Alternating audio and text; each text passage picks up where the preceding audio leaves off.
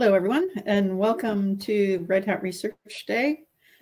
Um, we're going to start promptly today because we have an awful lot of material. Um, I'm really happy to uh, welcome Dr. Christian Rothenberg to our event.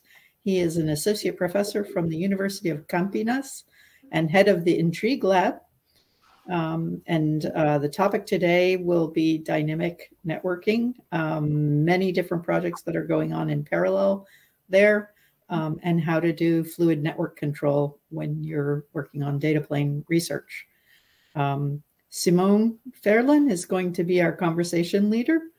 Um, so thank you, Simone, for joining us. Uh, and we would like to encourage people, if you have questions during the talk, feel free to uh, join in. You can send questions through chat or you can send through uh, actually joining and talking if you want to discuss a topic um, in more detail, and we do welcome people to do that. So Simone will um, guide us through that. And uh, with that, let's get started.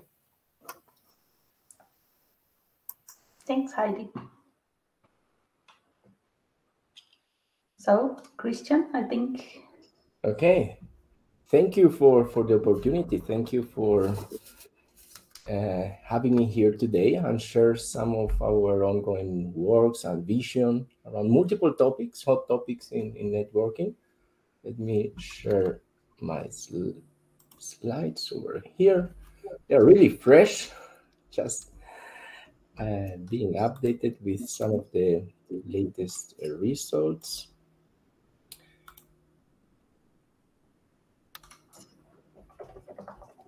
Okay, I guess you are receiving my slides, right?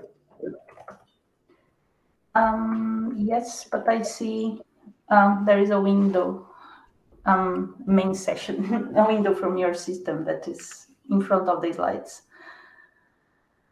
Mm. Should, okay, should should I try? It? Look, looks good. Okay, then let me uh, get started. I can try another one if, if you wish, but I, I think that that should be should be fine. Let me, let me try just this one. Mm, it just there is a window open trying to um, download the file. You can just cancel that, and then we see the slides. I think the the, the window is. I will. No, I will do another no. one. Go ahead. Now, now it's correct. Okay, so um, the agenda for today, I will start by saying some words about our research group, the INTRIG Lab at the University of Campinas. And I will introduce the concept around fluid network control and data plane, which is basically a way, uh, a way to frame uh, what uh, trends that are going on in, in networking around hardware, software, the location of functions, the implementation choices that we have right now. And then uh, uh, it was a, a, big challenge, right, Simon, to select five projects that are going on uh, that would interest most the, the Red Hat uh, research folks and, and the audience. Uh, and these are the, the five ones that I, I will go into more details. Uh, there are different stages of maturity. Some are really going on and, and, starting others, they, they already delivered most of the contributions, so I will talk uh, about them. And, and finally, I will like to, to, to use the opportunity to talk about our just initiated uh, research center called SMARTNESS. It's a 10-year initiative uh, I will briefly introduce the, the vision, and then I would like to use some time with, with you to discuss uh, research collaboration opportunities um, that uh, that I, I see with uh, common interests and uh, in, in, Red Hat. Okay, um, we, there will be questions, right, Simon? So folks can put questions in, the queue, and we'll stop uh, at selected points, right, to to to get the them. yeah, let's try to make this a little bit more like interactive, so yes. you can also, if you see something in the projects in the topics that is related to the work that you are doing at Red Hat or um, also upstreaming, um, just feel free to just ask the questions and then we, we can stop and have a small discussion and continue. Yeah, especially when we go through the different uh, projects, we, we, can stop and because of the topics uh, will jump from, from some, technologies to, to others. Okay, so very quickly, uh, uh, INTRIG is the research lab that uh, I'm leading, and we are about to make our 10 year anniversary in, in September.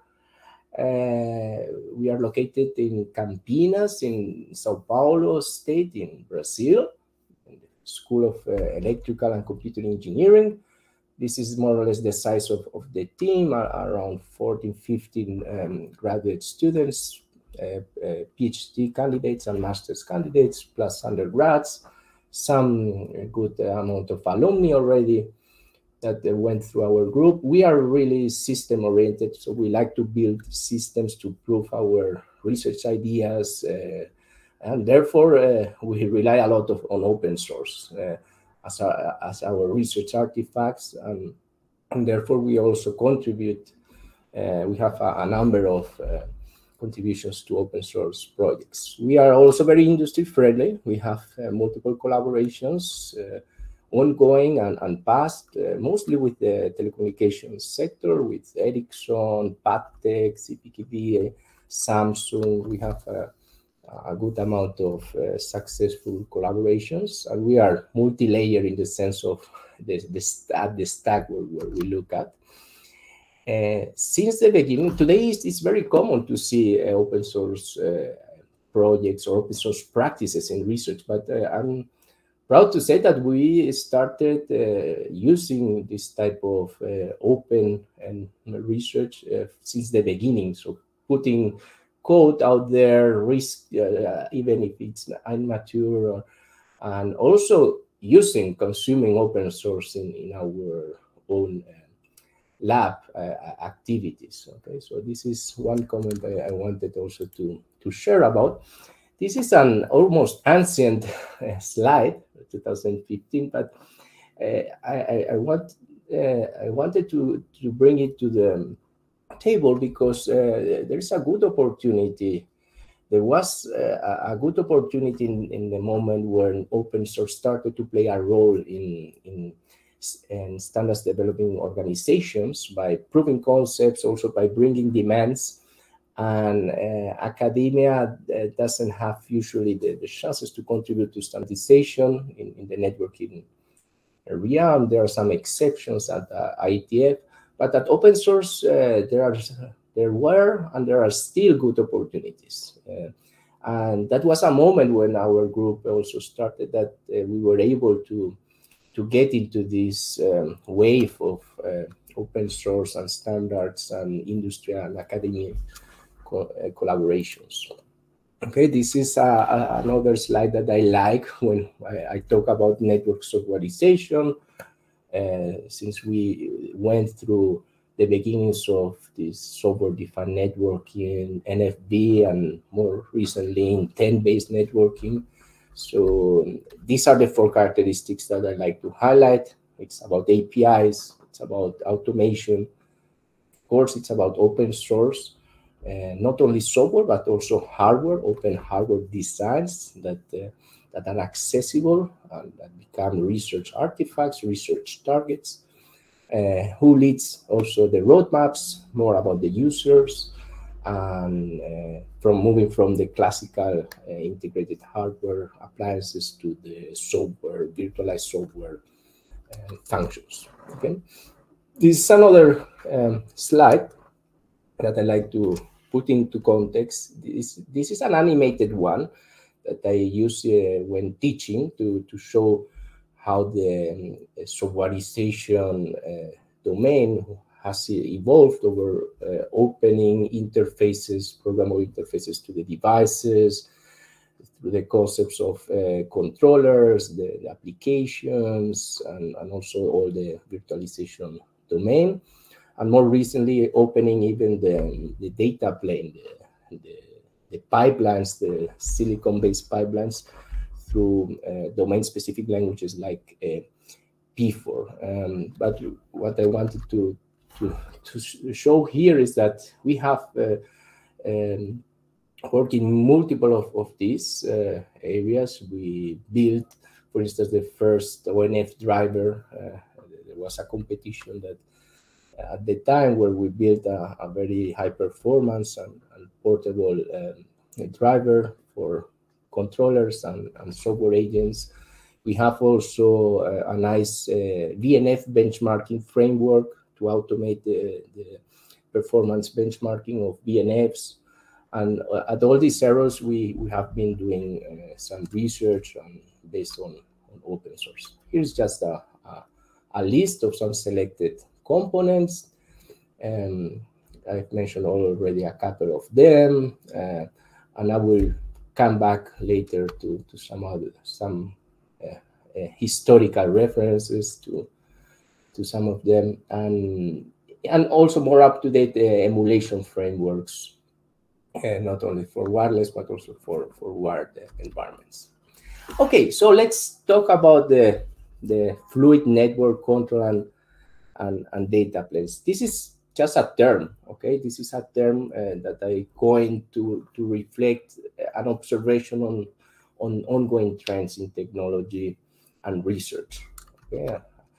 Uh, so I, I, I, I, put these uh, gas uh, fluid-like figures to show that there is a lot happening uh, in the software to, to, to hardware dimension on the y-axis as well on the uh, x-axis, there, there is a lot of um, mobility or choices to where to place and run functions in, in the networking domain, uh, not just the functions themselves, but also the, the applications. Okay, this is another figure to, to show, uh, to illustrate this fluidity.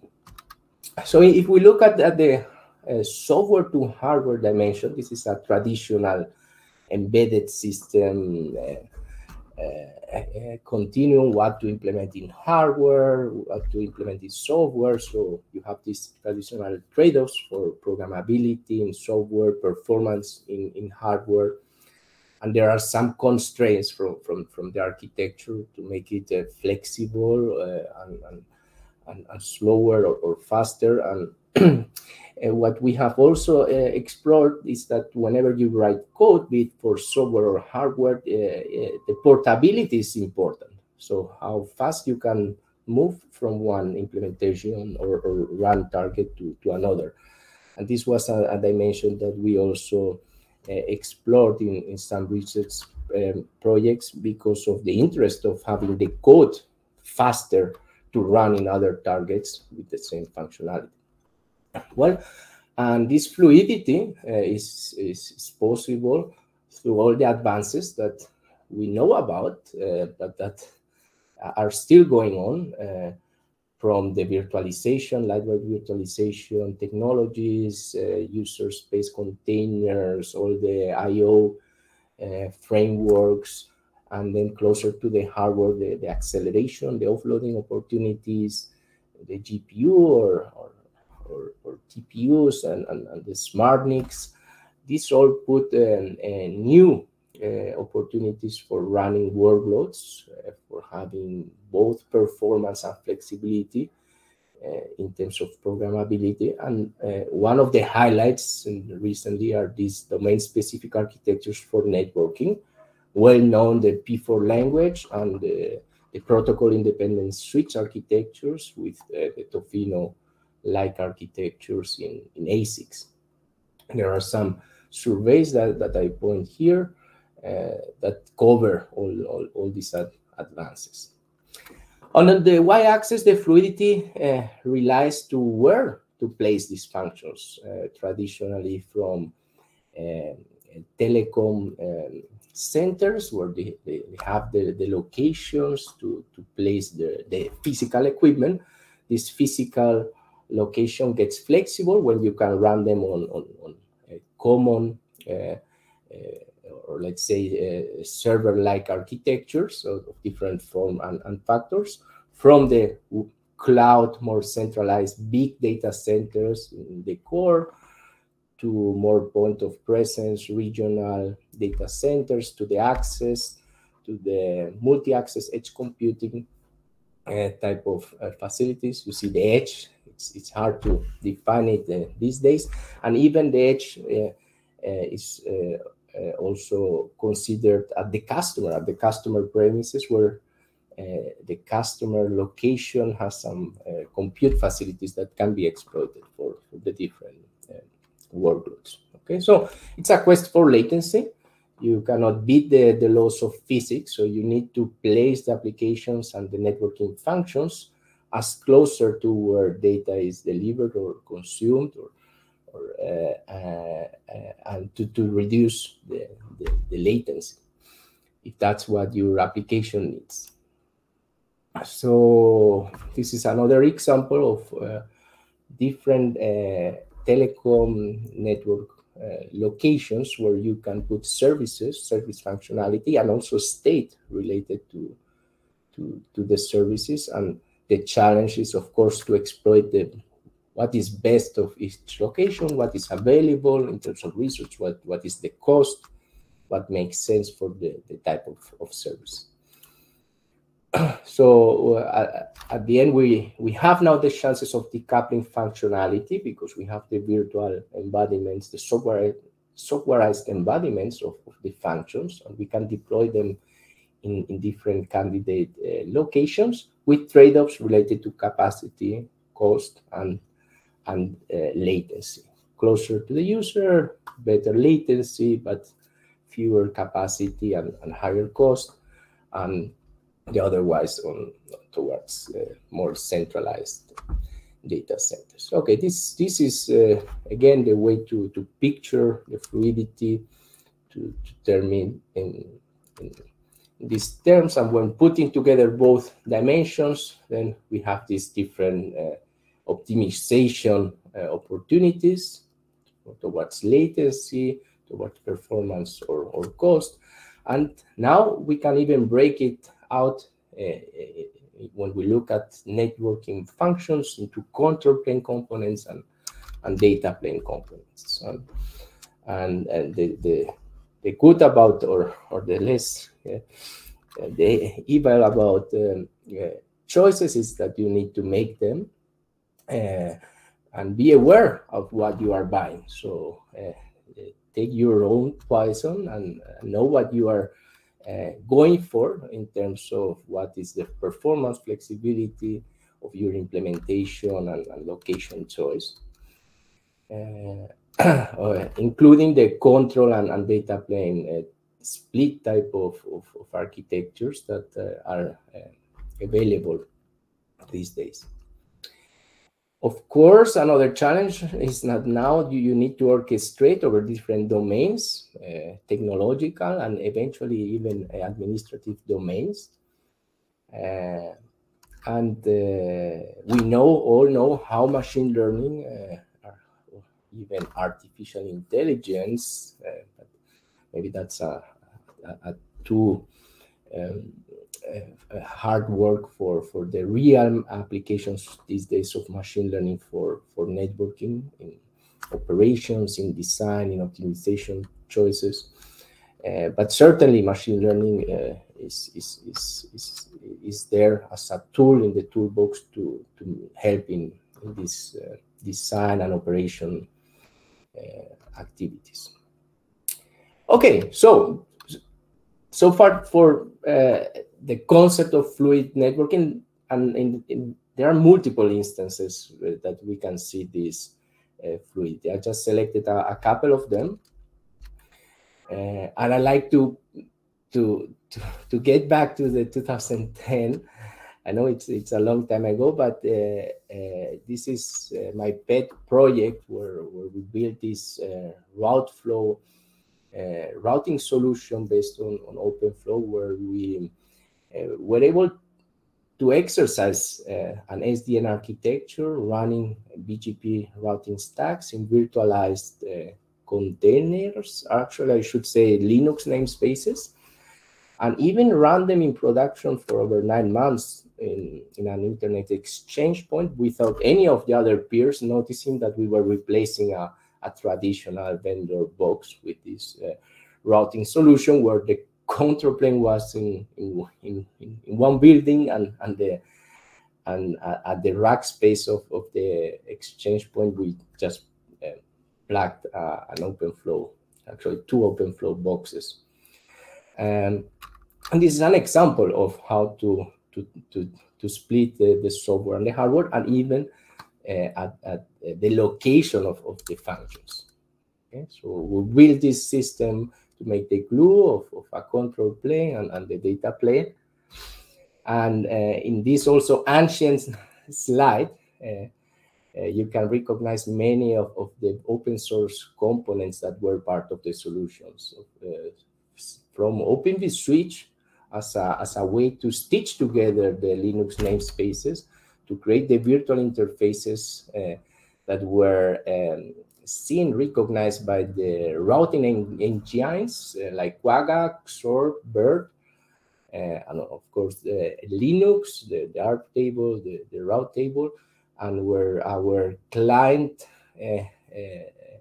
was monitoring all the netlink events, putting the netlink events into a, a DB for IPC purposes, and we were using MongoDB and, and Redis at, at, at, the time, and coordinate uh, through the intelligence of, of, the server how to disseminate the, the relevant uh, state in terms of, of uh, entries, layer two, layer three uh, entries in the different uh, databases. It was a, a, lot of fun and a, a great exercise and, and, pleasure to see uh, researching going live for, for some time.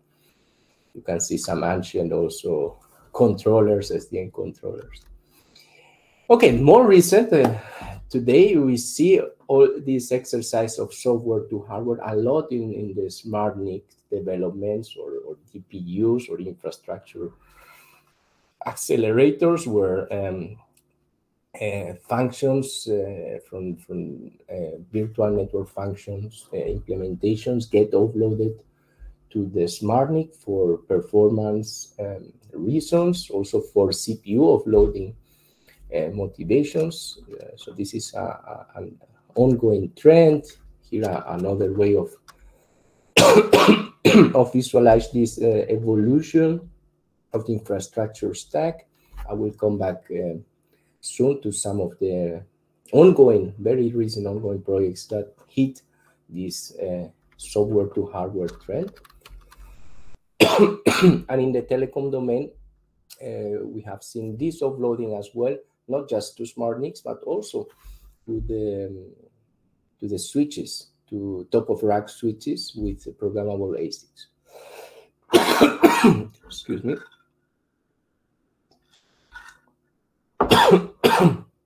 Here, the, the P4 is the domain specific language technology, and the Tofino ASICs now now by Intel are the the enabling technologies for for these offloading functions. um, so we have done uh, a lot of research together with Ericsson on this space, how to to offload uh, functions relevant to the um, user plane of 4G and, and 5G. These are some of, of the recent publications. On regarding this, I will is one of the selected projects that will bring more more details.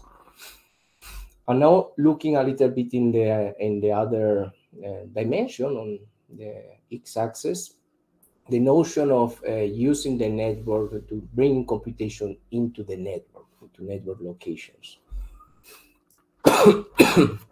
we have done uh, also um, proof of concepts, ideas uh, to, to accelerate, for instance, uh, robotic control functions in the data plane, where the data plane, uh, through its programmability, is able to parse the positions of, of robotic arms, detect uh, uh, zones that are not allowed to move in, and accelerate the decision that otherwise a, a, cloud-based or a software-based controller would take. Uh, uh, inside that TCP connection, uh, generating valid segments with the payloads that that would expect to, for instance, to make the, a robot stop.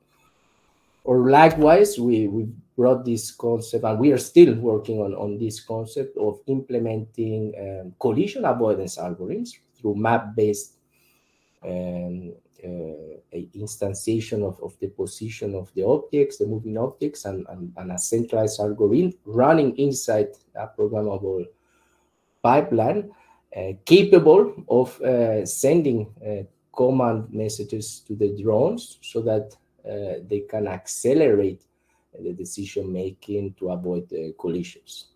You can see some of, of very recent demos and ongoing work in publicly available videos, and there is also open source code related to to merging these uh, Coppelia simulate CoppeliaSim drones and our Mininet-WiFi uh, emulation environment.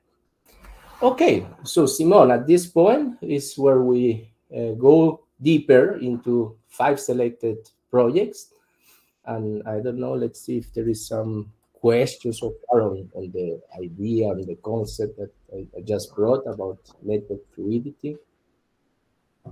Mm, not at the moment. People are very shy so far.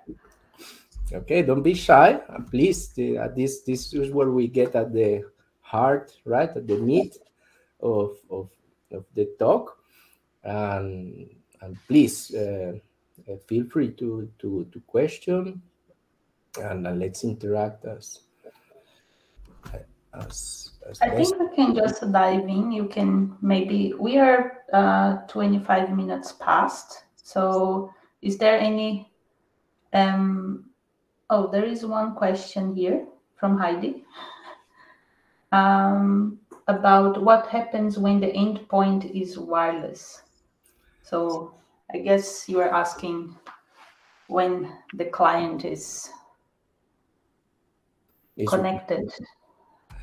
Okay, well, uh, not just a wired customer. Oh, ah, okay. Then uh, uh, um, in in the wireless domain, and of course, we would need to to to define whether it's a, a mobile type of, uh, uh, of client, where uh, like in a five G technology, where we we can guarantee some some performance. We can uh, allocate fixed resources so that the clients can be served versus a, a more in the wild Wi-Fi type of environments where there are no guarantees. And, well, the there the just the the challenges uh, uh, go higher and higher, and um, for many of of those, uh, the edge is moving. So this is a, a, a another challenge uh, on the fluidity landscape because the, the most convenient access server compute facility uh, will be changing over time as, as the as the as, as the mobile assuming that uh, wireless is also mobile. If we are talking about fixed wireless access then the, there are uh, uh better conditions. But in, in a mobile uh, wireless client the choice of, of the, of the uh, compute functions uh, that are better and close by will be changing. So there are uh, many of, um, of the research um, trends going uh, mobile and into uh, predicting the trajectories and already prefetching contents or preloading um, application instances in, in, in the locations that the, the, the vehicle, uh, because uh, there are many uh, intelligent vehicle systems uh, that look into, into this uh, program space. So it's a, an, another degree of challenges. Yeah. Were the the the robots they were connected over Wi-Fi or there was like a private okay. 5G? In uh, um, so in, in the here in the drones we we are considering 5g type of connectivity okay? Uh, that uh, through the through the delay guarantees and, and slower delay uh, allows this, this type of offloading of, of the controller. In the robotic uh, in the smart factories mostly these robotic are uh, connected through ethernet. And and the robotic arms themselves they they, they, they don't have a, Uh, intelligence embedded or, or, very close by, other than, the, of course, the, the physical control, physical systems of, of the kinematics. But but the trajectory, the position, the so all the planning activities are running in software, and this software can run on premises in, in the factory or in the cloud. And, uh, in, in, there is in, in, this cloud where there is uncertainty about the, the performance, where we, we we are seeing the opportunities that the the switches, the Ethernet switches that already serve the connectivity of the robots can be uh, augmented with this uh, type of uh, application-specific functions. There are some open source projects for using P4 with Wi-Fi devices. Yes, indeed, it's it's a, a, a very inter interesting landscape. We have done um, some work in the Mininet-WiFi emulation platform where we can instantiate P4 uh, access points uh, so, so that they serve uh, Wi-Fi and and, and, and they have the P4 pipeline programmability. Yeah, you can have a mix uh, wired wireless on the on the premises and and and trying to define the multiple edges in, in an experiment. Yeah, this is one of the the type of um, um, studies that folks uh, or, or do. What are the trade-offs? What is possible? What are the budget limits in terms of latency that can be that can be achieved? What is the the, the yeah the budget in terms of how far you can go to to bring the computation great thanks for for for the questions that makes it much more interesting. Okay, I think we can already dig into the specific ones. Right? So I uh, reference for a different uh, sequence here for the project, or we can just go one by one. We can go one by one. I have my personal preferences, but of course, so we can go one by one, actually, I think the, the order that I just uh, put into the slides, it's, it, it swaps the, the initial ones and the others are, are okay. And um, it's just because of, of, of, of, how close they are together, okay? And also okay. towards the end, uh, let me already uh, make a disclosure that these two last ones are the most uh, um, uh, recent ones. And there are fewer uh, uh, solid uh, research and, and, and, artifacts or publications, whereas in the others we have already repositories, publications in journals, and so forth. okay. So for this conversation, right, Simon, it was hard. We, we started with over 10 projects and we had to cut uh, to these uh, five ones. Uh, uh, let me talk about this P7. It's just P4 plus the three P's of programmable patch panel. It's a uh, it's it's a it's a project that uh, seeks to create a, a, an emulated network testbed with 100 gig uh, uh, speed capabilities, and it exploits again the Tofino programmable ASIC architectures and the P4 language so that uh, an experimenter, a researcher that uh, needs to come up with uh, a topology with some certain properties in terms of nodes, links, latency, bandwidth, jitter.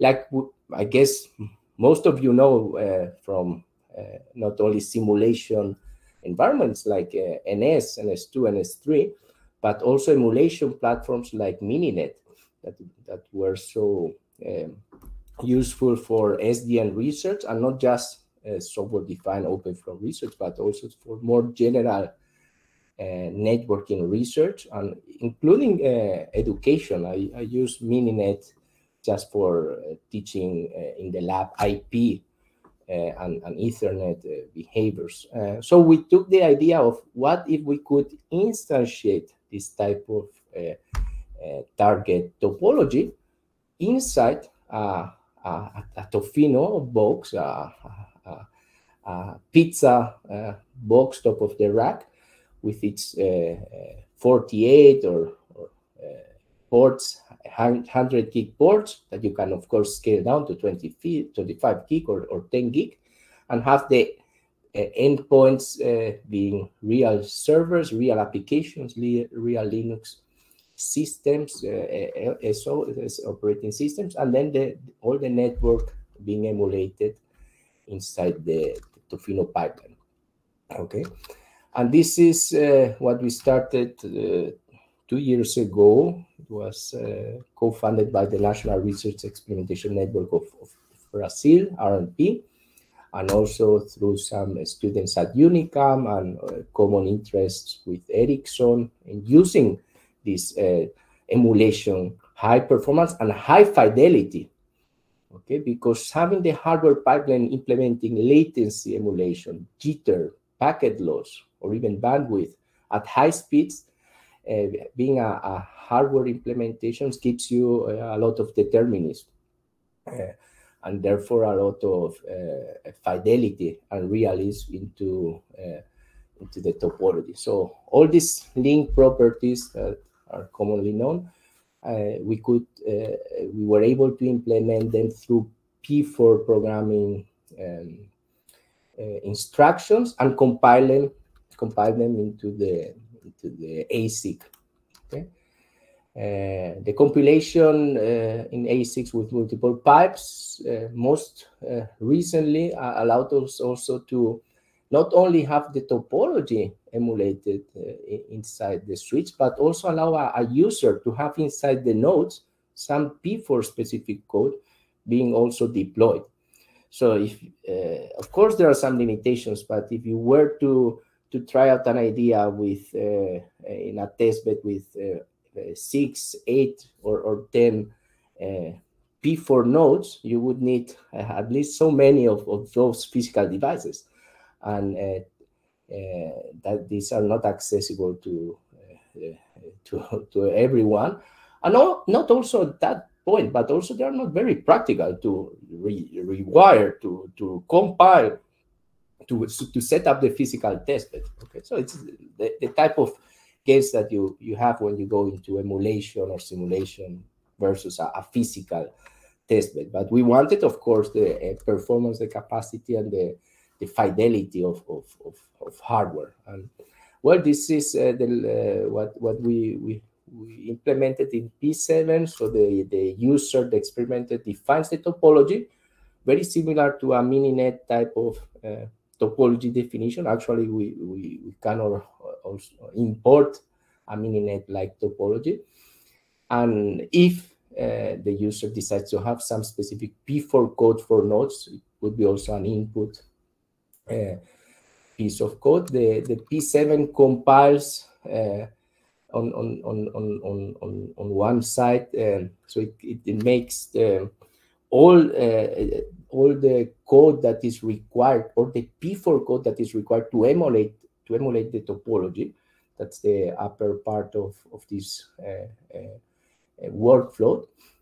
And uh, then the, the lower part is also the, the part that is required at runtime after the, the comp, uh, compilation using the, the SDA of uh, the SDE, the development environment of Barefoot to populate all the tables that are used uh, to do this uh, emulation of the topology. So uh, the, the, the, tables are used, for instance, when the package goes through, through different links to carry a specific tag uh, for the latency that needs to, to, to, to, to, to be um, forced to, and, and also through the paths. So all of these are based on match action tables uh, and, and the, the, the, their entries, the table entries need to be populated. This is what is done after the, the compilation.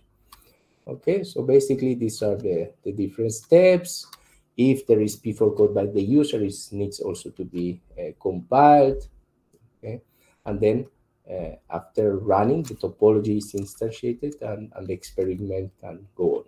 There is a demo. I'm not going to, to run it right now, but I will leave the, the pointer to, to, the demo. Um, uh, in this demo, basically, we have a, a user-defined code at each P4 node where it does some calculation with the TTL, the time to live field value inside the, the packet, just to show that at every hop there is P4 code uh, uh, running. Okay, here is the link. Uh, we'll make the slides accessible and and we can also put them in some blog news or, or something to, to facilitate.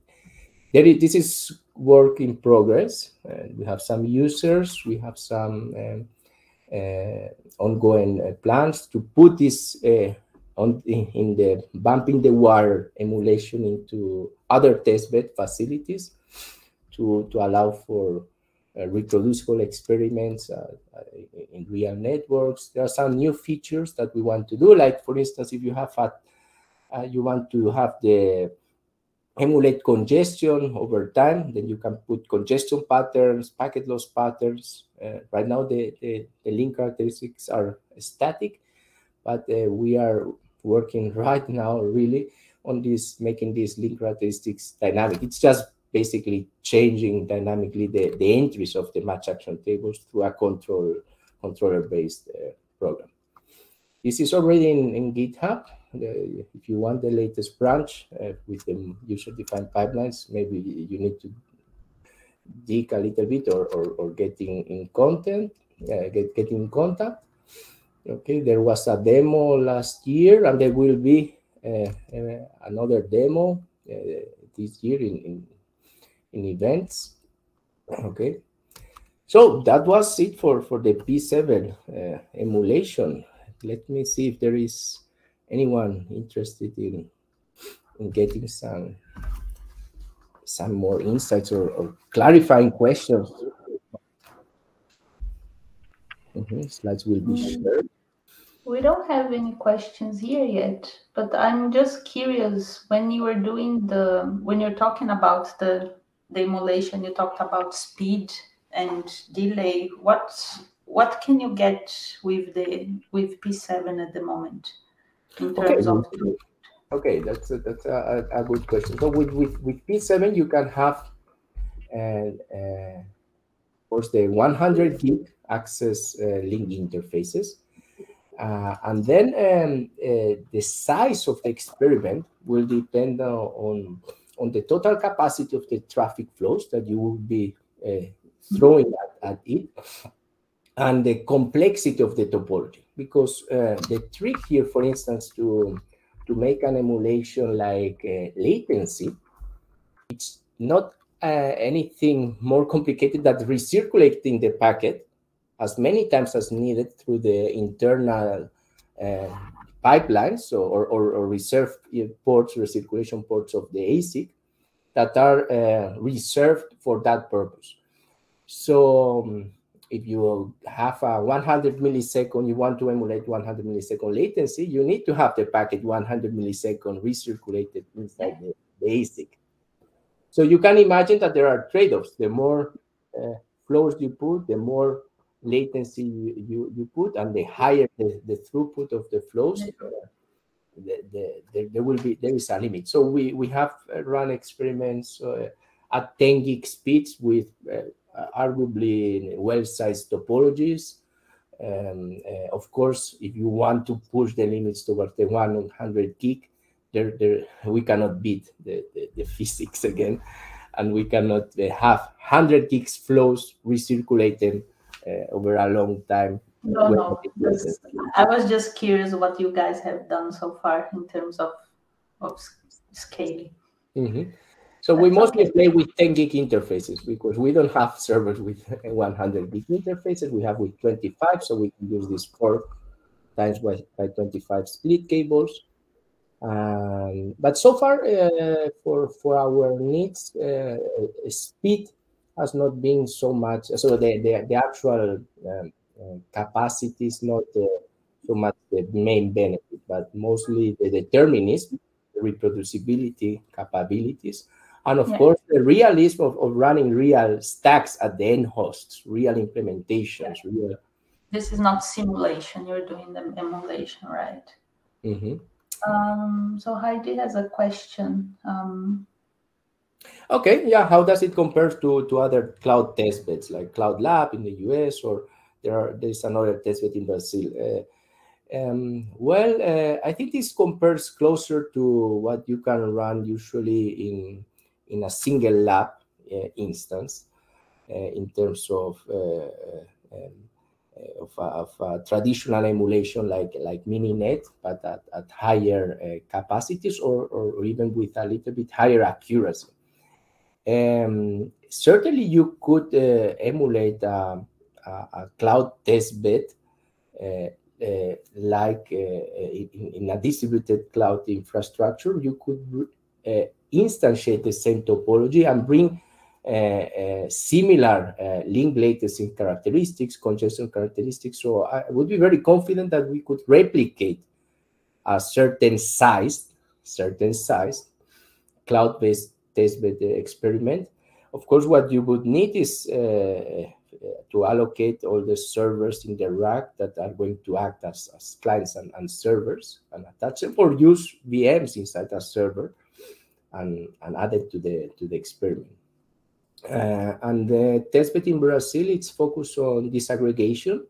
It's called the Open RAN Brazil testbed. It focuses on an, an Open RAN and, uh, and ONF SD-RAN type of uh, experimentation over optical, radio access, and, and cloud domains. And there, the, the, the match is very easy. So you have a uh, you have a fixed testbed, and and you want to run some, uh, for instance, some real time uh, RAN in uh, intelligent RAN controller. For that, you need something exciting in terms of something goes on, the users go in, there's some congestion, some right. Uh, and either you force it and bring the users or, or, or, the data sources and, and, and do it like that, or with this emulation capability, you can even bump it in the wire in, between two disaggregated devices and emulate an access network at, at that point and then replace some of the scenarios that uh, are interesting, for instance, in terms of congestion or, or, or whatever. Also, uh, NSF Fabric is, uh, is, is, is, is, is a, very interesting testbed where uh, the opportunity to have the experimenter to bring reproducible networking conditions could be interesting. Hmm. Okay, great. Uh, let's go. Still have four more to go and, and still the research center. Let's go into this uh, this one, hybrid P4 5G. This is about implementing user plane functions in programmable software hardware stacks. Uh, and we started uh, some years ago with uh, a collaboration again with Ericsson, has been our main sponsor in, in the lab and still is. Uh, and looking at the portability dimension that I mentioned, you, we have programmability, we have DPDK, we have uh, high performance programmability, but it's hard to, to, to make your code, your functions, your pipeline to compile into another target. So we started by using P4 an open data plane uh, SDKs and, and creating a, a, compiler system that would create this uh, multi-target uh, uh compilation. Then we looked in specifically into which of the user plane functions could be implemented uh, using the, the P4 language, the, the, the, the language artifacts, the, the, objects, the capabilities. There are some limitations in, in P4. Um, and so we implemented the logic of uh, Evolved Packet Gateway or and more recently of a 5G UPF and compile it to, to different targets, including the, the Tofino uh, hardware. And uh, more recent, uh, what we have been doing the, in the last two years is uh, looking also into splitting the P4 code pipeline uh, so that it could run part in one uh, P4 device, the another in another one. That's one dimension of the hybrid capabilities that we are looking. And then looking into this software to hardware continuum, we could think of uh, that part of the P4 code that requires more programmability, more state, uh, or, or, some P4 functions, external functions that are not uh, uh supported by a Tofino ASIC, uh, a TNA model that would be running in the x86 or ARM or general purpose domain. Others could be running in the smart NICs. This would be this uh, intermediate uh, P4 and the others in the top of rack uh, uh, switch. And this could be running on the edge in some edge facilities or more at, at, the core.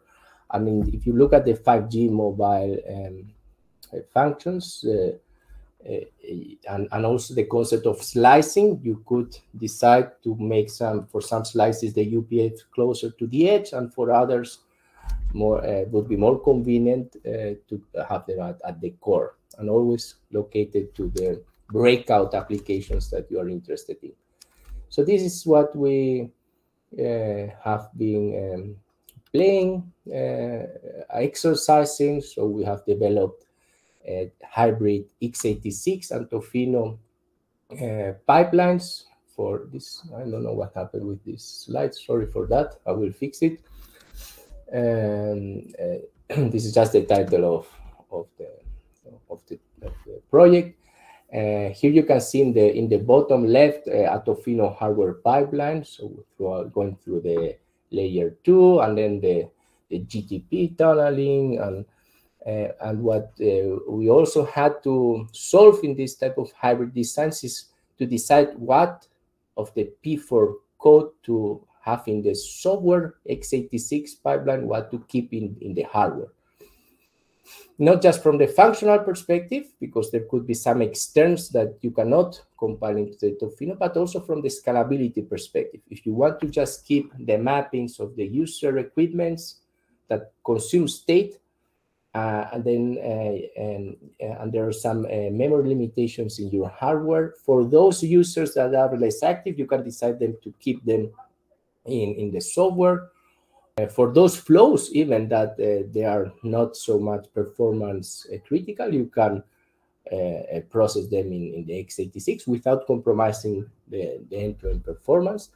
And those that are heavy hitters, for instance, you can fully offload them to the to the hardware. And for that, we we had to also investigate uh, how to de detect these heavy hitters, how to take these decisions, and we come up with with some interesting algorithms that run entirely in the uh, data plane uh, based on uh, interpacket gap uh, analytics running in, in, again in, in the P4 uh, logic in, inside the Tofino ASIC and this has been one of the exercises. In collaboration with Ericsson and, and ELTE uh, in Hungary, folks, they have also explored uh, how to, to use smart NICs instead of the Tofino hardware architectures, and also looking into gNodeB, radio access network functions. There are some functions, for instance, like buffering.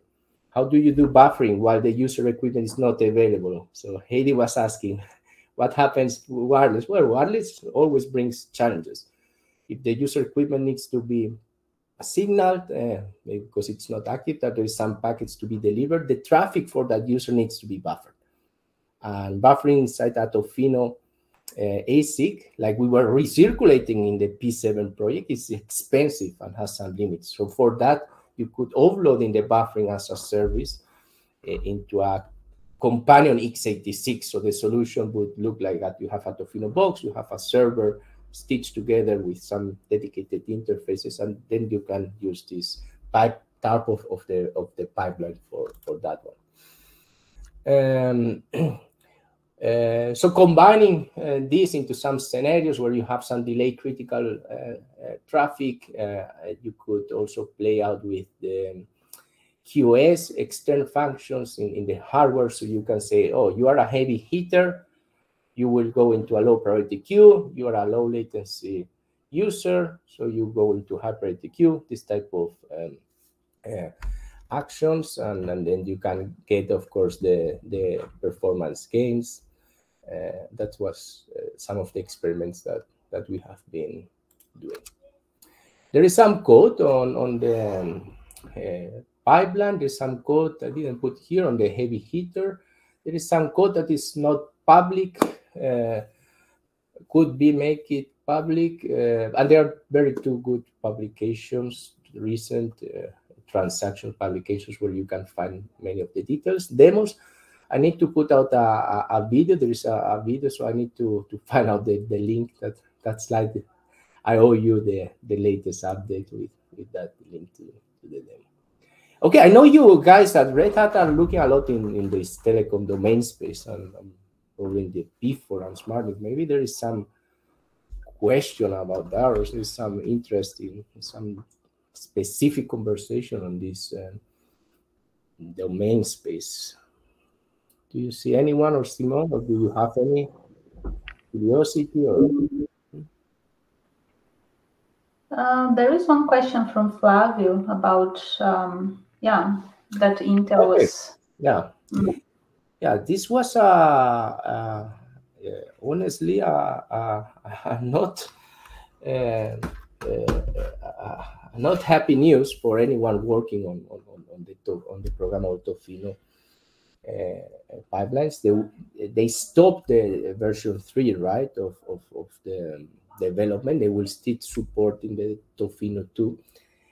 Um, well, I'm just speculating. I don't I don't know, uh, but uh, my my guess, uh, and it's also a guess shared with some of, of colleagues that work in the space is that this was a business decision of Intel that has cut down many of the business units, R&D uh, business units that uh, didn't have, uh, um, how to say, a, a, a, not a solid, but a, consolidated business plan, right, with the, the business unit making the profits as the tech crisis has has hit. I don't think it was a it's a it's a failure of the concept or the technologies behind programmable pipelines, programmable ASICs. I think they they, they will still uh, flourish. Uh, not, not not know if by Intel or by another uh, uh, uh programmable silicon chip maker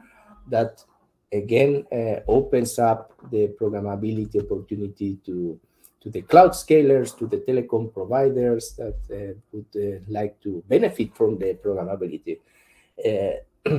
And, so the, the um, having the opportunity of being programmable at the same cost price factor is, is certainly appealing, right? For for for the innovation perspectives, for the reuse of, of hardware or the timing of, of purchasing, deploying, and so forth. But Eh, indeed, it was uh, an unfortunate uh, decision for all of us working on, on the programmable Tofinos on the hardware. Of course, there's still programmability in the SmartNICs, in the x86, in the Linux TC uh, space, but um, for the next level of the Tofinos with more pipes, with more memory, it was unfortunate. So that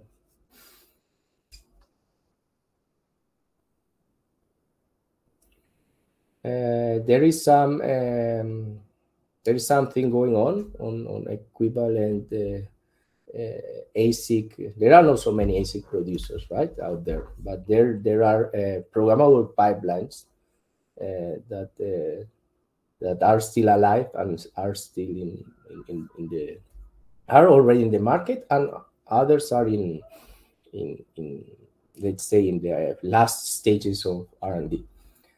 These days, the P4 workshop is running over there in California. I have some some colleagues attending, so maybe there, will be some news on, on that one. Let's see.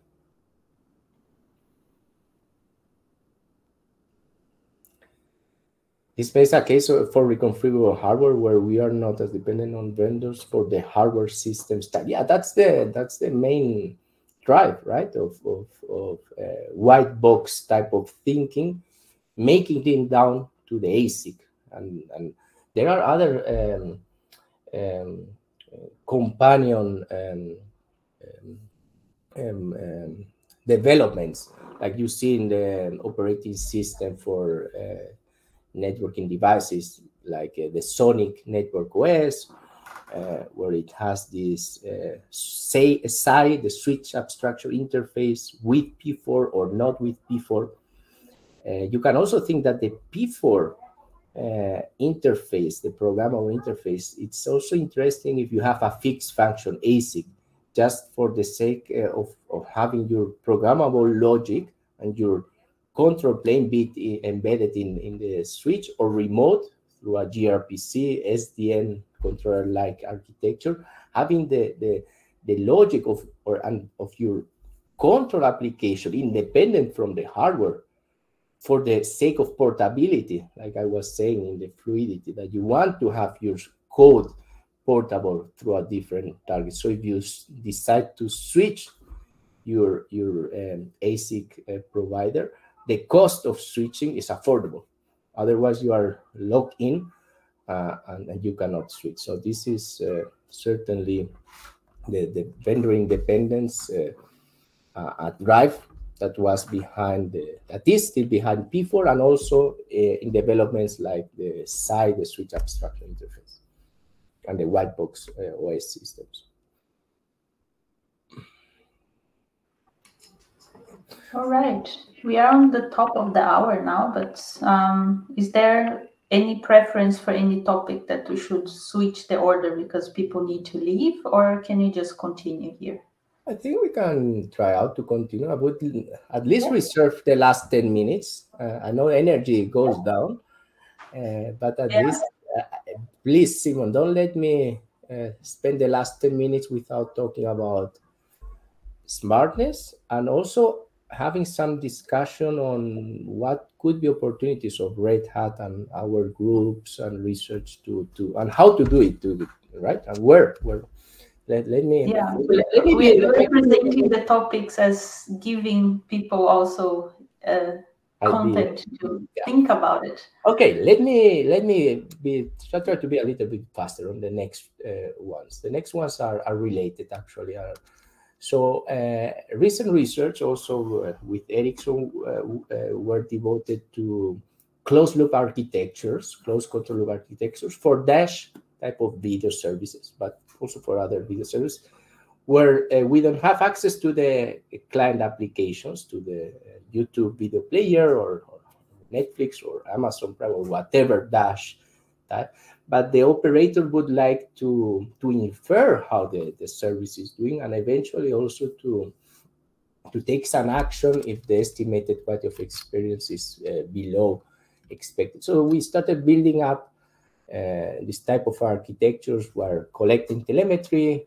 inferring a, building a quality of experience model, inferring the expected KPI of the quality of experience, and then actuating by reconfiguring, uh, uh, uh, making another rule of, of queuing or, or taking another route. There are multiple actuation actions that, that can be thought of.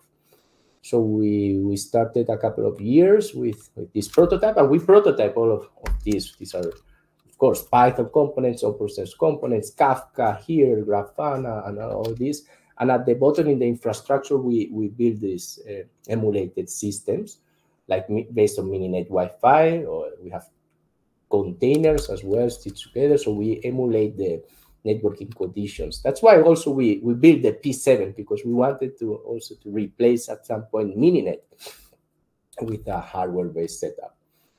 And of course, Open vSwitch is our best friend in, in uh, most of our proof of concept prototypes, since I was referring RouteFlow 2010, we use Open vSwitch uh, for, for all the uh, uh programmable switching and, uh, and, and, to instantiate topologies and, and, so forth. So we build this uh, system, we create machine learning models, we build also Jupyter notebooks to to see how these uh, video uh, were playing. We, we, we introduced some Linux TC issues and, and took some, some actions, okay? So we evolved over this idea to make these traces of the traffic more realistic. So we introduced uh, the emulation of real cellular network traces of 4G and 5G and replay them into the Linux TC uh, interfaces of the Open vSwitch instances. Uh, and then we observed uh, what happened with the, the, TCP, with the QUIC traffic, multiple transfer protocols. I know, Simone, you, you like this stuff.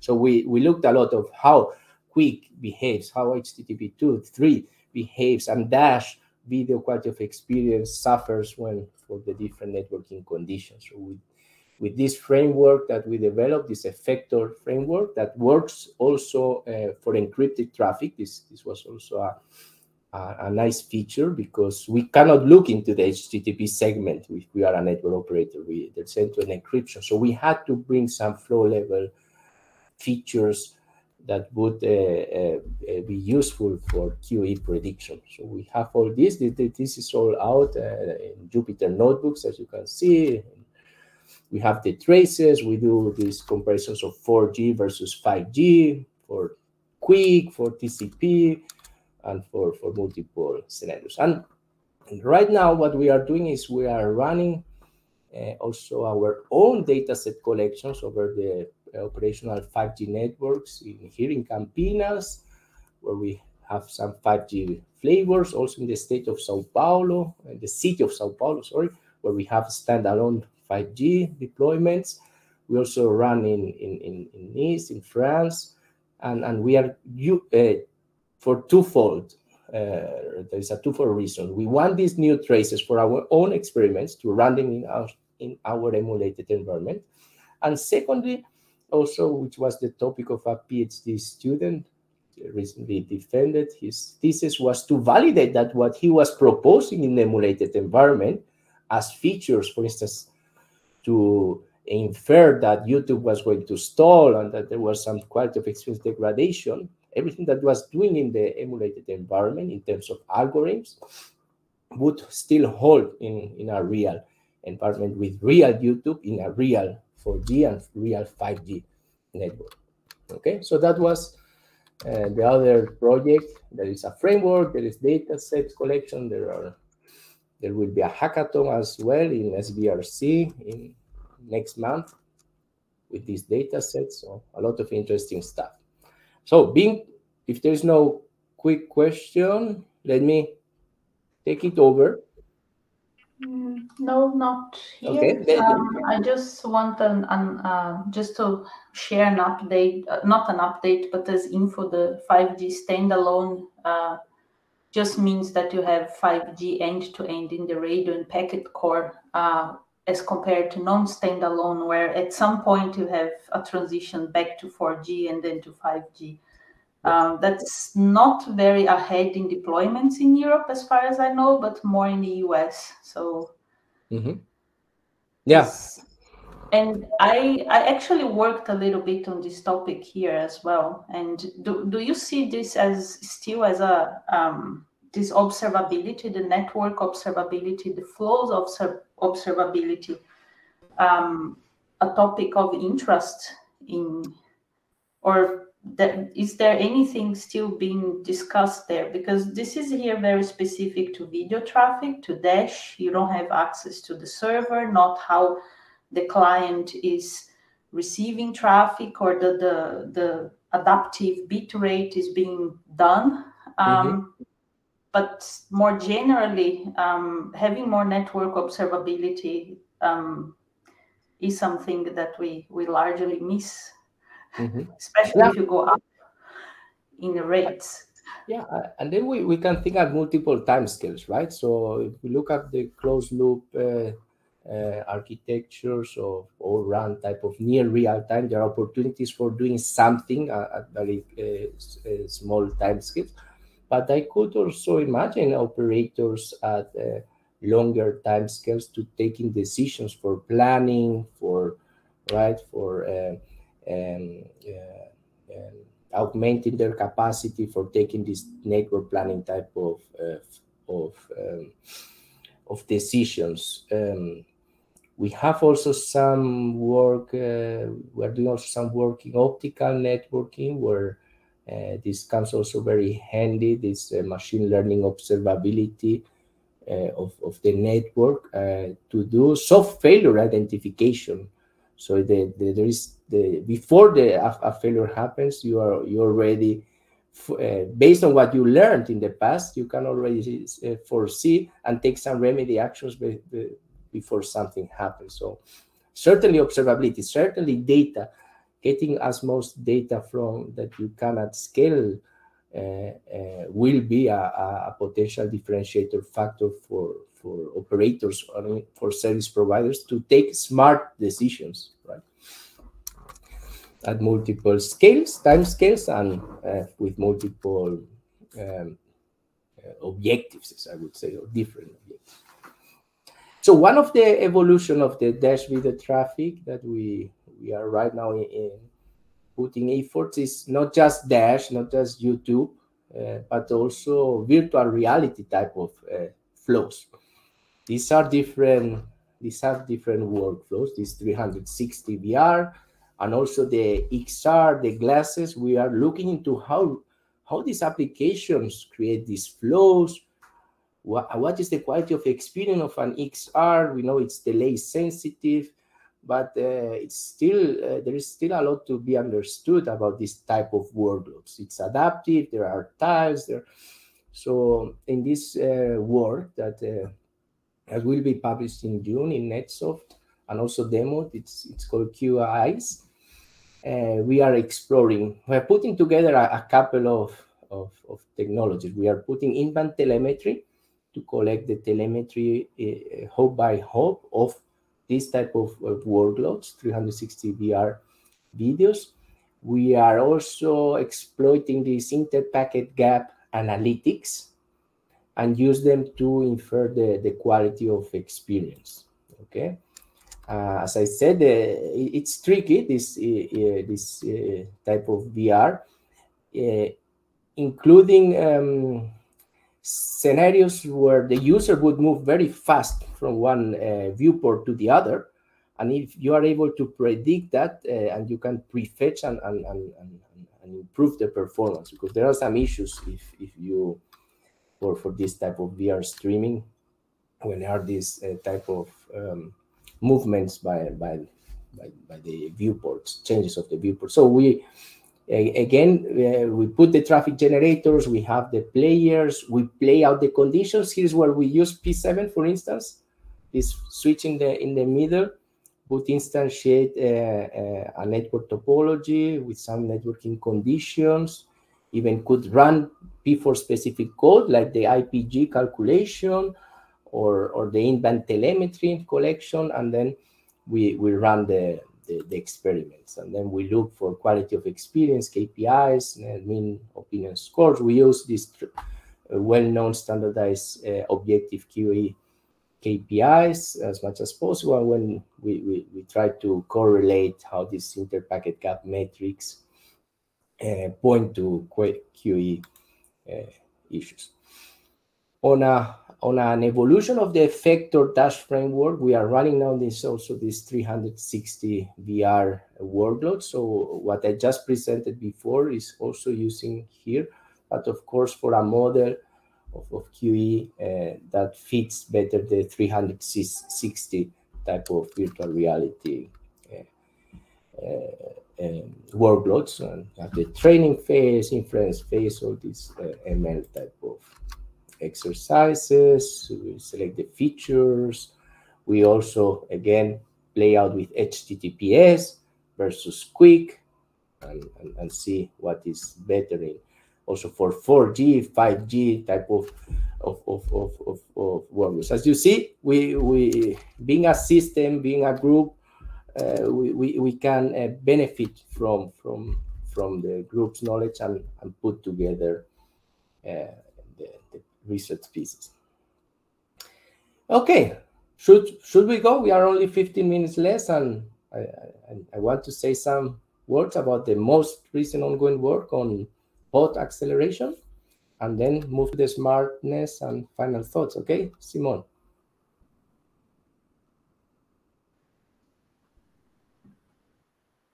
Just go ahead. We don't have any questions, but this one here may trigger from Great.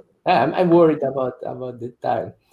Uh, so this is joint work with Professor Fabio Verdi from Federal University of Sao Carlos. He's a partner also of, of the, this new uh, research center of FAPESP and Ericsson. And he he's mostly looking in how to offloading mesh crypto functions like KTLS into SmartNICs.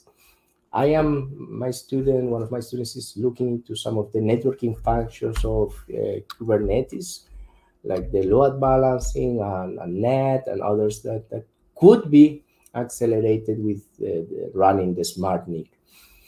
Um, uh, the motivation uh, is, is, well known. These uh, applications that depend on, on this microservice with the crypto functions. So if you can accelerate or offload the CPU, then there are some infrastructure gains. This is what he's uh, right now uh, doing with his students with this specific smart NIC, looking into this crypto functions capabilities of the smart NICs and seeing how faster or how much the CPU can be relieved. Uh, KTLS has different modes of, of operations. This is uh, one of the kernel that one that, that can be uh, offloaded to the smart NIC. Here you can see uh, the setup with the Red Hat uh, version that is being uh, used and some very preliminary numbers. Uh, when I said before the start of the talk that I was fetching the latest results with Fabio, these were some of the slides. Thanks to Fabio that he was copy and pasting. So please don't take them, don't copy paste them because they are really uh, fresh and need to, to be more extensively produced, but we can see some of the CPU usage benefits uh, if, if, you do the NIC KTLS processing in line, as, as you would expect. Well, everyone would expect that, but we I, I don't know if it's so well known how much it is. It's 10 times, it's 100 times, it's two times, it's five times. So that's what, what we are looking. We are also looking to virtualization. So if, if we have uh, something like Podman, with the containers. Uh, how does this uh, NIC KTLS type of acceleration work? We don't know. If anyone knows, if anyone has questions, let me have, please, this is a really fresh uh, area that we are very interested uh, in, in, into digging. Um, and that that would be the the, the last uh, slide for for the Arturo. Hey, thanks for the heads up. That was the last one. So maybe there is some question here on this or some idea on, on, on this uh, smart thing. I'm sure that uh, you folks are looking to this um, uh, IPUs uh, and these smart NICs and, and are certainly running workloads over there, right? Mm, Marcelo, Marcelo has a question. Okay. Mellanox. Well, Marcelo has just caught me. Uh, uh, if there is a Mellanox card, uh, I don't know. I will ask. I know there is this one that the Fabio, this Texas one that, uh, but the I don't know. But we can certainly dig into that one. Kernel dependence, okay. Rate haters. Um, we've um, so with containers, we have talked about also before other um, um, about service mesh as well. And there was something about offloading, and you had a use case there, I think, also coming from Ericsson. There is something that materialized there, or it was related to this project that you are doing now? Um, there is nothing materialized. There is we are still uh, what we are looking is if you are running the 5G um, control plane in containers, what what are the, the workloads there that uh, that could be uh, accelerated uh, in, in this? You have all this microservice like uh, or service based architecture of 5G control, and and, and, and there are different um, ways of, of, of instancing them in terms of well, where to load what container, what, what, what mapping microservice to container, and also what we were investigating, studying is the sidecar proxies, uh, yes. or, or, doing it less uh, with without proxies, or but uh, there is nothing uh, materialized. And uh, if I if there was something that I could not speak of, I, I, I would not do it. Uh, uh, but uh, honestly, we are we are looking into this. So we are we are very interested into this. So very interesting landscape. Yeah, okay. maybe you can. So we have ten minutes left, um, yeah. and then we can maybe conclude with smartness and. Yeah.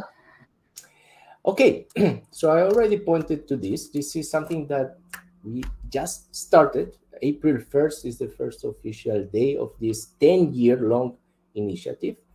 It's a very interesting funding program by our, our main funding agency. It's called FAPESP of the Sao Paulo state, which funds scholarships, research uh, projects of different sizes. And there's this one that uh, targets a partnership with uh, private industry uh, for very specific scope centers. So there is energy, there is oil, there is there are many things, and there was none on telecommunications, on networking, and that was the opportunity that uh, Ericsson and our group started three years ago.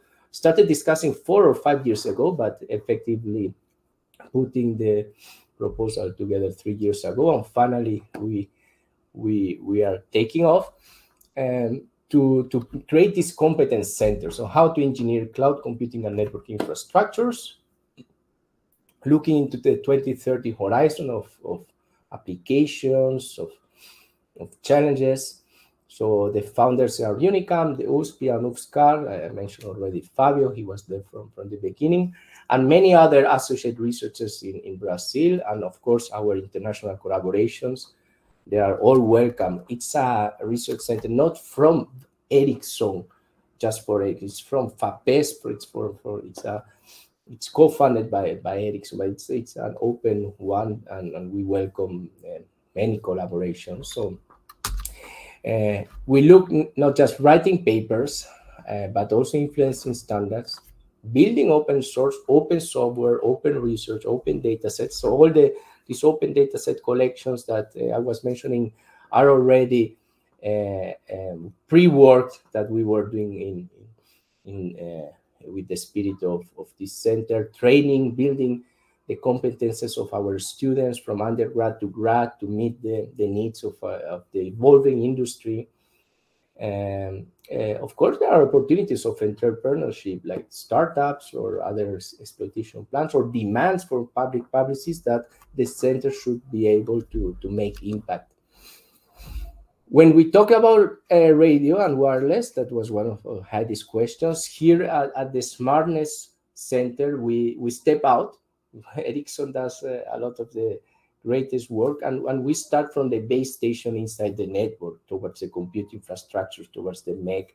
Okay, so we don't uh, have in scope of the, the, the radio uh, research the physical layer research. There may be something, there may be some collaboration, there will be certain collaboration, but it's not in the, in the main roadmap. We look into the use cases of all, all these types. We look into the networking functions, AI, ML, implementation, be it cloud-based, service-based, open source, network service mesh. You can see there, zero touch. Okay, these are some of the Ericsson Vision uh, uh, areas, and these these are all in, in, in our scope. This is the the house-like uh, structure that uh, uh, that we came up to organize the center. So we look at, into future applications from the augmented society and the industrial internet to drive uh, advancements, uh, scientific and technological, from the core networking aspects. And here you see fluid control and data plane. That was again the the the, the catch to, to, to the concept that, that I was referring to with all the, the different areas that we are looking into, slicing, intent, programmability, all these uh, research areas. Then we have, of course, edge, cloud, customization, acceleration, telco cloud, edge native, all these aspects as another pillar. And the third pillar at the heart, if you want, at the, this is this cognition. So ML for networking, distributing ML, so ML workloads are certainly uh, uh, another area that we have dedicated research envision. And then two orthogonal areas, trustworthiness, we cannot avoid looking to security, privacy, safety, ethics, and sustainability, a very big hot topic, how to run these infrastructures with less energy, with more uh, economical incentives, and all the sustainability uh, of, of, the uh, goals uh, that, that, are well known in other policies worldwide from the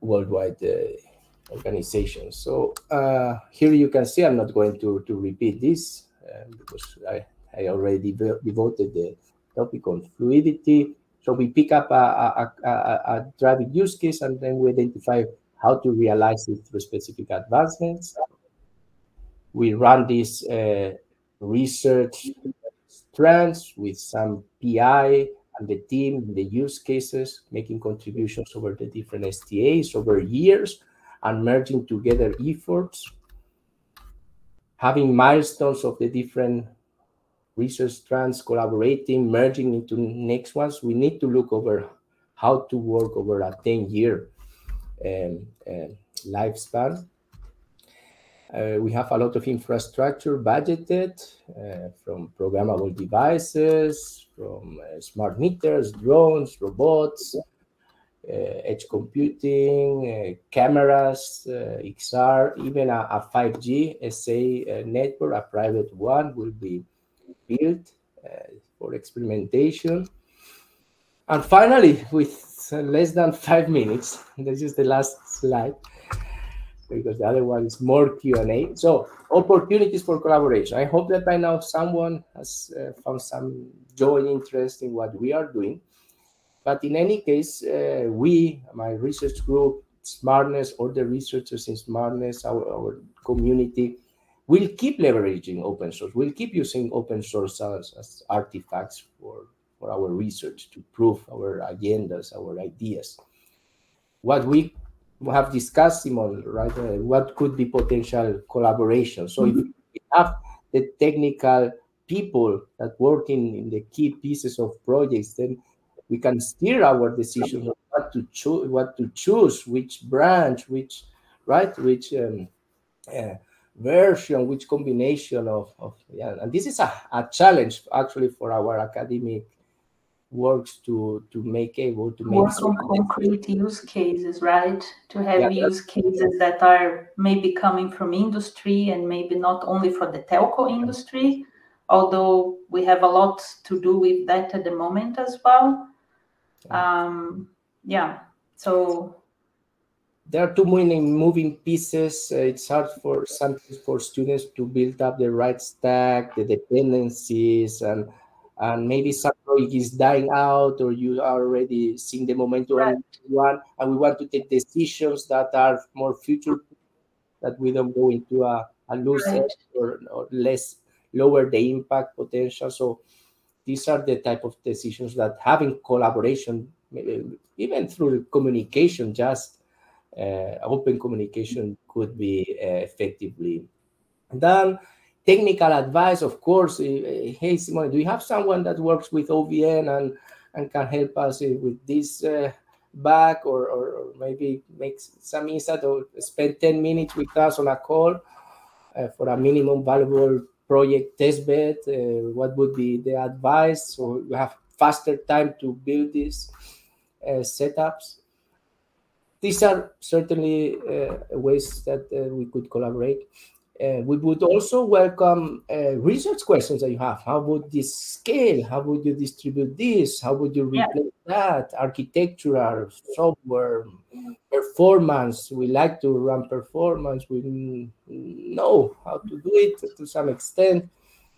So that this is this is to some extent also the challenge for us because um, um, we we are like a platform technology platform provider and we usually don't own workloads that run on our system so if we how do you how do you dimension and how you design system if you're working for a telco industry but then tomorrow you are supposed to work for for example now we have automotive also that it's spinning up mm-hmm. um, so a, lot of what I do is related to with telco, and a lot of what I do is related to OpenShift. So there are many many questions and many related challenges there, and telco is doing that. Different flavors and sizes of of OpenShift, um, and trying to understand um, what we need to provide when it comes to telco. It it can be a larger provider, a larger operator, but it can be a private 5G network as well. It can be the robots use case that you had, or like a factory use case that runs a private 5G that has absolutely nothing to do with a larger operator running um, thousands of users watching video while they are mobile. Um, so we we have I think we have a lot a lot in that direction that we we try to understand looking at the customers that we have mm-hmm. um, but also to investigate beyond the more concrete requests that we get from that right so we we are all up to try to share these uh, use cases and, and also to, if you have being able to frame some research questions, we don't know that, we don't know that, we would like to know that to listen, maybe we can steer them into, uh, into our uh, uh, agenda. Smaller projects, yeah, like proof of concepts and smaller short term, very yeah. concrete time boxed projects that it's worth sharing with um, people yeah. here. Then the, the last bullet there is uh, maybe we can think about uh, internships, research internships. Think that the Google Summer of Code that we uh, we have some experiences of our students making them, and also hosting in RouteFlow. We hosted uh, a couple of editions, but maybe more research centric. So spending three months with some of you, joining your teams, your even if their end result is, is is not what we expected. I think the experience of a student at the master's or PhD level to engage in some community uh, development uh, like you do in, in Red Hat, that would be uh, for the curricula, for the building talent, for the building uh, the future engineers. For me, that would be again, even if he, the three months don't advance anything for his PhD, but for him as a professional, that would be a gain for me. So that's the last one. And finally, we are hiring. Finally, we have the funds. So and the, posi- the, the deadline is still open 10 more days if, if you want to enroll for the second semester and join us uh, please uh, reach us follow the, the, the guidelines and well thank you again and Heidi thanks for the opportunity and let's hope that some of the opportunities concretize and materialize Yes, thank you very much, Christian and Simone. Um, I appreciate all the information you shared, and um, it was a lot. Uh, uh, people are uh, encouraged to contact you directly, and we'll follow up afterwards to see um, other ways we might collaborate on research or on internships or some of the ideas you've brought up. So um, please don't hesitate to reach out to me as well if you're interested, anybody who was attending. Um, and we'll follow up with the slides and the recording as as Jen is pointing out here. So thanks again. Um, we'll Thanks very much. Thank you. Red Hat. Research Day in about a month. Bye bye.